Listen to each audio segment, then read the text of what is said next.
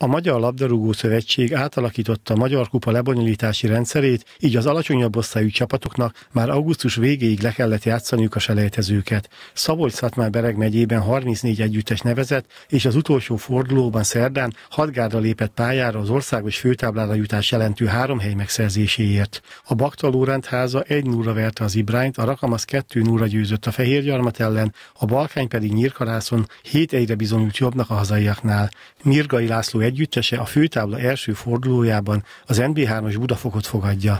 Azt gondolom, a Budafok a, a esélyes, de ugye Prukner László összeszedte az NB1-es volt kaposvári fotbalistákat, illetve hát Vácról, Vasas, Diózsőr, ahogy néztem az összeállításukat, és egy kicsit érdeklődtem, fel akarnak kerülni NB2-be, tehát egy, egy jó csapat fog hozzánk látogatni.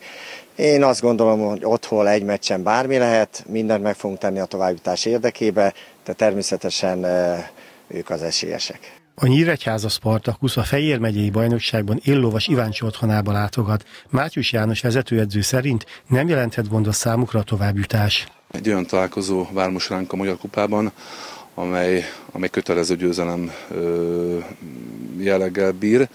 Ezeket a győzelmeket néha legnehezebb kiharcolni, de nem mert kétséges, hogy ki fog tovább jutni a kupában.